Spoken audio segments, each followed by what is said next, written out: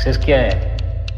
Failure के बाद का नया चैप्टर यो फैक्ट बहुत तकलीफ़ होती है। जब आप योग्य हो और लोग आपकी योग्यता ना पहचाने। एवरी चाइल्ड इज़ स्पेशल ये कोरी बकवास है। तू कोई यूनिक पर्सनैलिटी नहीं है। ये प्रॉब्लम्स हर साल हज़ारों बच्चों के साथ होती है।